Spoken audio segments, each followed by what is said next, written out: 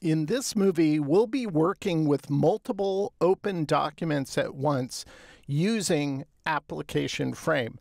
Now, just a little disclosure about myself. I used Illustrator. Prior to that, I used Freehand, which is another vector drawing program that Adobe bought. And pretty much killed killed off. So I had to switch to Illustrator.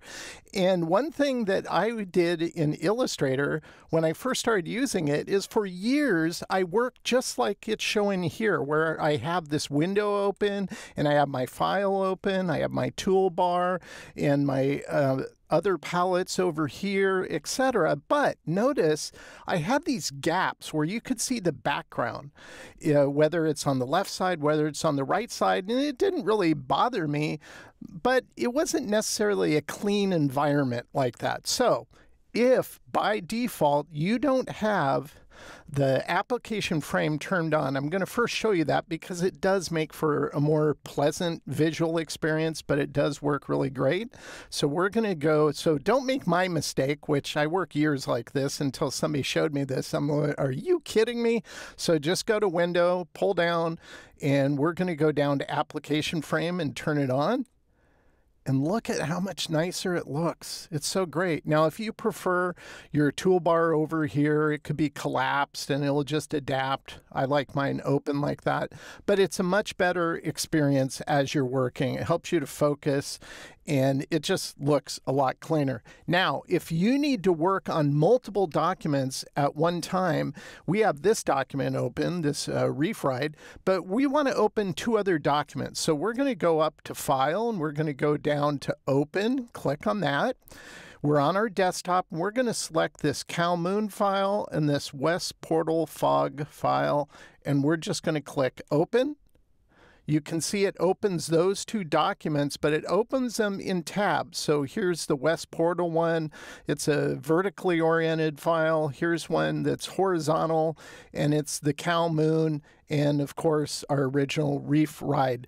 Now, how do you work on these like multiple documents at one time. Well, you could work this way with tabs. I do this every day on most things. But you can also, if you really wanted to, you, there's a couple ways you can do it. You could pull a tab off and drop it, and now you have this floating window.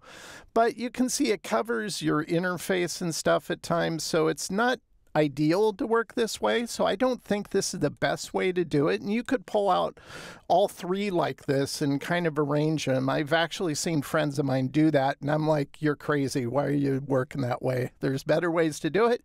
And I want to show you the better way. So all we're going to do uh, to redock it to uh, the tabs menu, you just grab the header anywhere, drag and drop. And as soon as this is blue, let go. And then you can even rearrange if you want CalMoon to be second second again, we could go like this, or maybe you wanted West Portal to be the first one, then you could just drag it over and it'll just put it right into place. So that's how that looks. But that's one way you could do it. You could just simply drag the tab out and let it float above the other file you have open.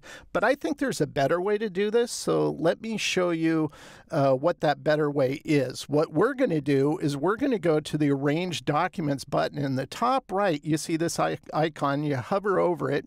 And by the way, if you're not seeing um, the hover over, it's a preference. So you'll just want to go to preference and turn on tooltips. That way it'll kind of remind you what you're doing. Once you start memorizing it and you, you understand it after a period of time, you can turn it off. And normally when I record movies, I tend to turn that off just because it can kind of get in the way at times. But I just wanted to explain that. So let's go up here to arrange documents and click on it. And these have all these pre uh, kind of pre-formatted layouts for open documents. So we have three documents open. So we're going to use this three up one and just click it. And you can see it puts every document, it kind of stacks it really nicely. And then each of these, once you click on that document, you know, you can reposition these with the hand tool if you want Or if we go here to the cow one, maybe we move this over a little bit. And then on this one, the same thing. So this is another way you can work. And this is more ideal than having uh, the floating window above an open file because your user interface is easy to access still. So this is how you do that. Now, there is um, a, another way if you wanted to get back that is to your tab menu. Well you could drag these into another tab and do it that way or you can simply go to window and you can go down to arrange and you can go to consolidate all windows and it will push them all back into these nice nested um, tabs. And this is to be honest with you, this is the way I work. I rarely have need to have all those documents visible at once.